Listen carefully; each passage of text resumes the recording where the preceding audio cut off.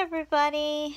Today is day 176 of the Dress Project, and today's fact of the day is smuggling and trafficking both involve moving human beings for profit, but in smuggling, the relationship between migrants and smugglers, usually on arrival in the destination country, ends. The criminal's profit is derived from the process of smuggling the migrant alone.